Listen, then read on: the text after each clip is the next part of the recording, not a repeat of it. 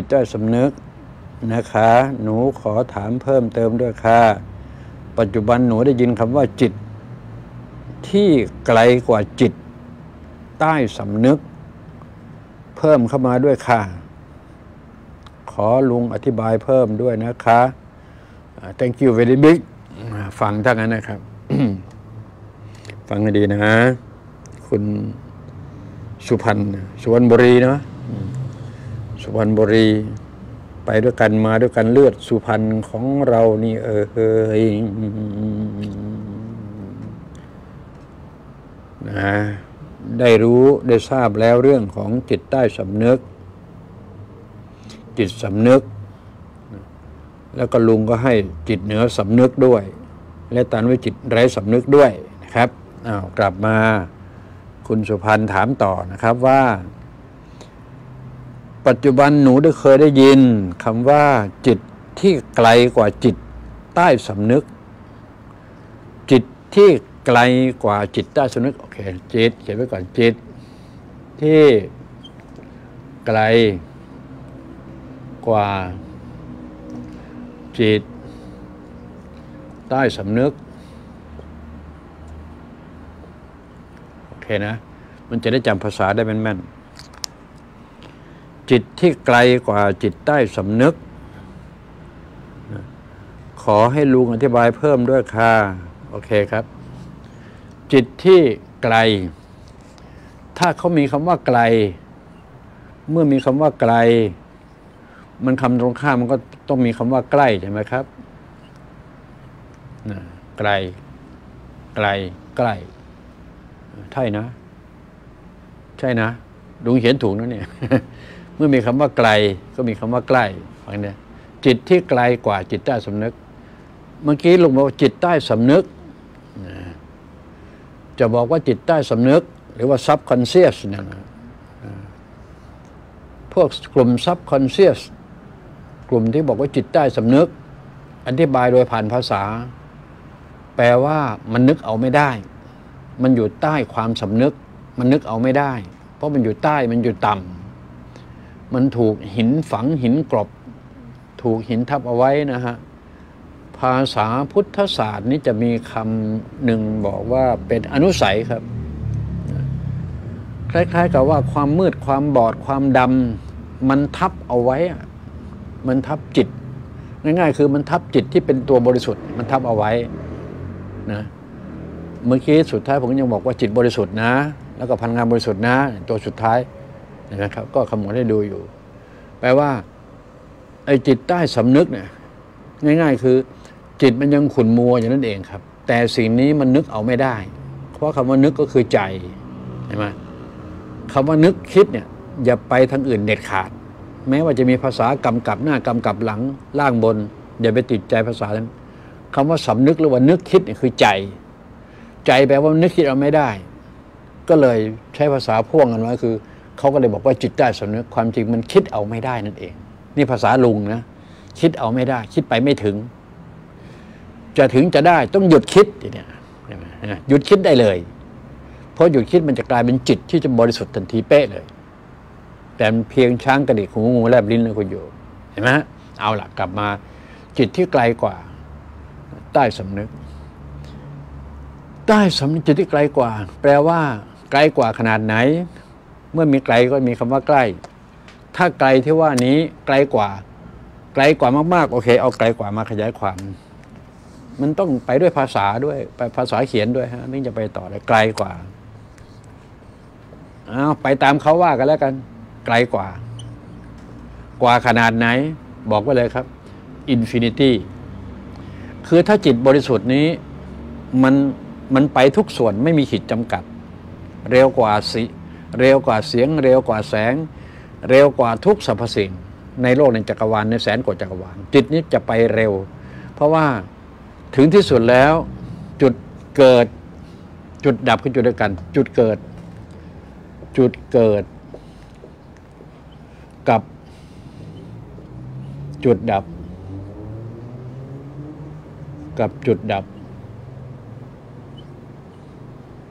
คือจุดเดียวกัน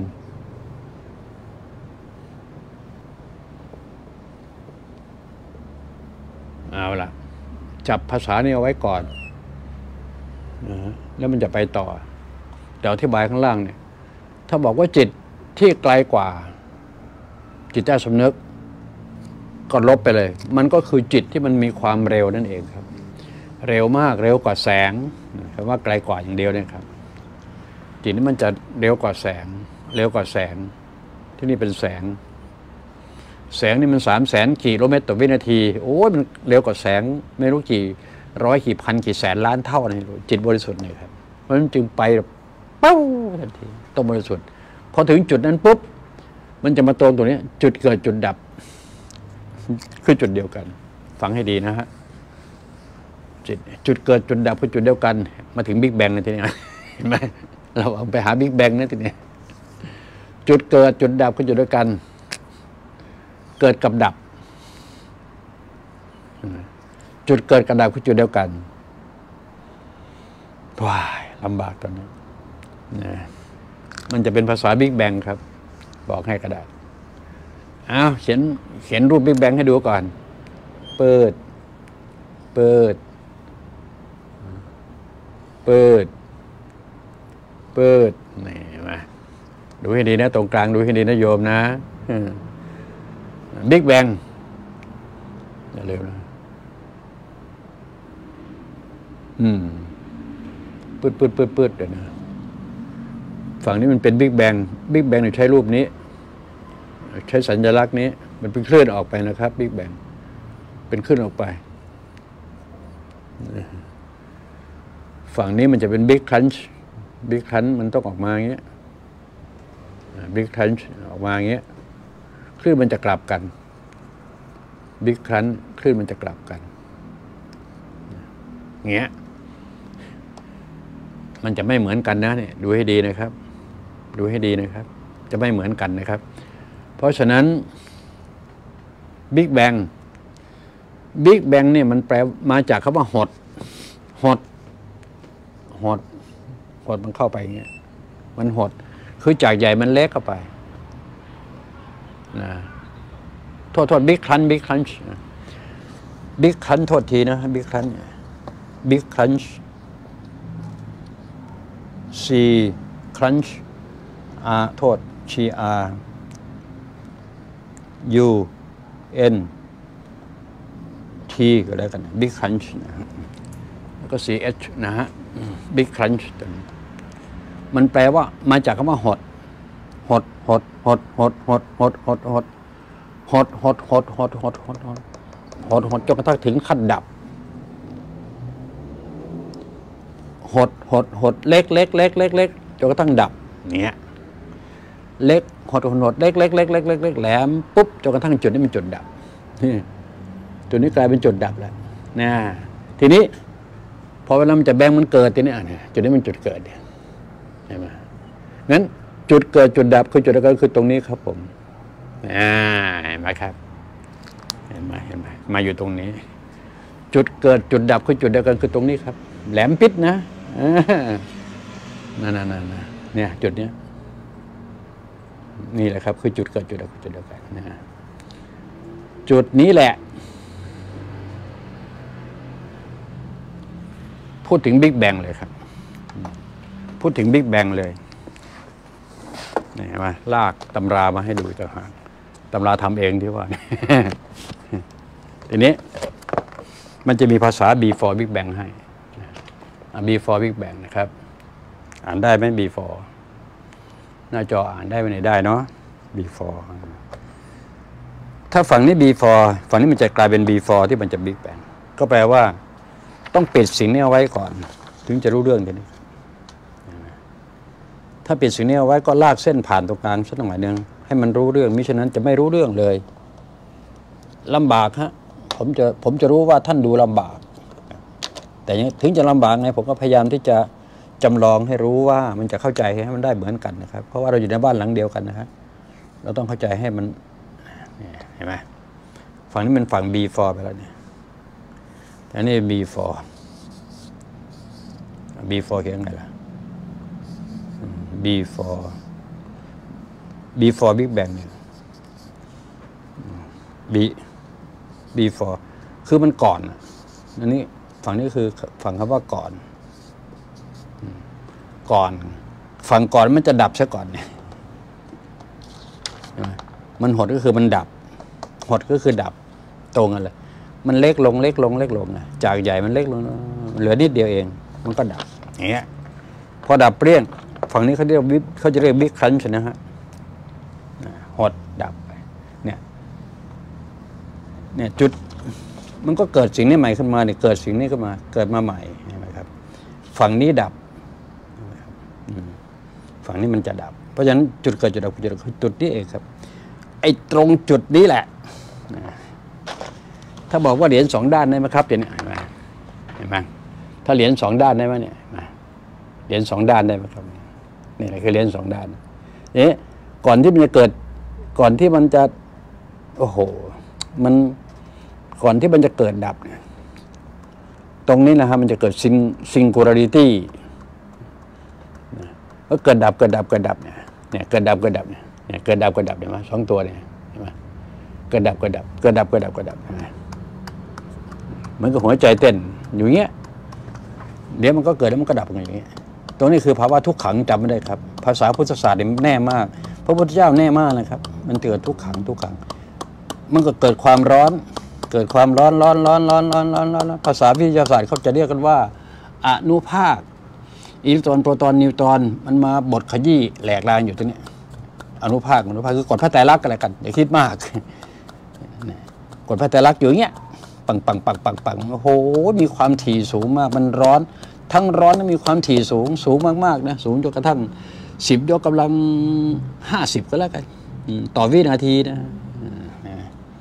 เอาเอาขนาดก็แล้วกัน ที่จริงมันจะมากกันนะเป็นร้อยก็แล้วกัน ไม่มีใครไปวัดได้ตรงนั้นตรงนั้นนะครับ ไม่มีใครวัดได้ตรงนั้นมันร้อนรนทนไม่ได้มันก็เกิด แตกเปรี้ยง มันก็เลยกลายเป็นเกิดใช่ไหมเกิด พอดับสนิทเกิดเปรี้ยงเลยก็เรียกว่าบิ๊กแบงครับ มันก็เป็นภาพนี้ต่อมาเลยเห็นไหมภาพก็เป็นภาพนี้เองนะครับอ่าใช่ไหมอ่านได้ไหมเนี่ยอย่างเงี้ยอ่านได้ไหมหน้าจออืมได้บอด้านนะผิดด้านอย่างนี้เหรออย่างนี้ไหมใช่นะอ่าบิ๊กแบงแต่ภาพนี้มันมันก็เป็นภาพนี้มาก็มาในสิ่งเดียวกันไหมฮะอย่างเงี้ยมันก็เป็นบิ๊กแบงพ อได้นะ มันจะขยายออกไปบิ๊กแบงชัดเจนนะคำบิ๊กแบงบิ๊กแบงจุดเกิดจุดดับคือจุดเดียวกันตรงนี้ครับ โอเคนะ เข้าใจแล้วทีนี้เนี่ยเข้าใจซะ รอวันเข้าถึงทีเดียวคนเข้าถึงเขามาเล่าให้ฟัง ไม่เข้าใจรู้สิถ้าไม่เข้าใจก็มันรู้ไปสิเห็นไหมโอเคนะ เนี่ยที่มาที่ไป เพราะฉะนั้นการต่อคำเมื่อกี้เนี่ยใครที่ถามต่อนะครับว่า